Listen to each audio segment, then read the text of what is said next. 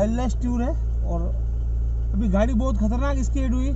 गाड़ी में साकर लगानी पड़ी और फिर रास्ते से निकली। किसी कारण शूट नहीं हो सका है वीडियो मेरा।